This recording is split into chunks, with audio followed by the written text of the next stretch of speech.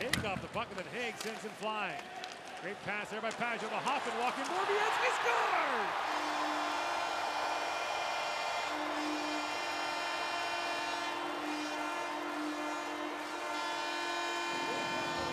Borowiecki throws it towards the goal. He's got his first of the year. Really good play in the corner. The Senators get in on the forecheck. It starts with a big hit on Hagg by Pageau. After he gets knocked on his butt, he doesn't stay there. He jumps back up and starts the play. Mike Hoffman comes in and finds Borowiecki, who's really been a lot more aggressive this year coming into the play. But this play starts and finishes really with Pageau.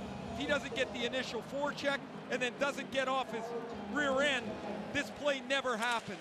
Pyatt does it